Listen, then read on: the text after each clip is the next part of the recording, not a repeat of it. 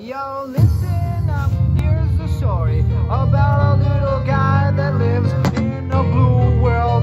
And all day and all night, and everything he sees is just blue. Like him, inside and outside. Blue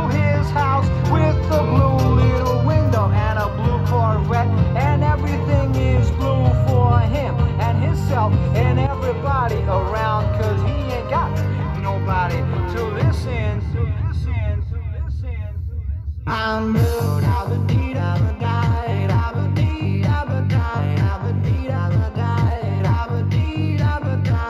would